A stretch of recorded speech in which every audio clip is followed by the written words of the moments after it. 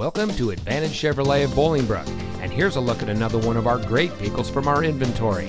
It comes equipped with rear view camera, heated front seats, Sirius XM satellite radio, electronic stability control, steering wheel controls, remote start system, tire pressure monitoring system, keyless entry, premium audio system, theft deterrent system, and has less than 35,000 miles on the odometer.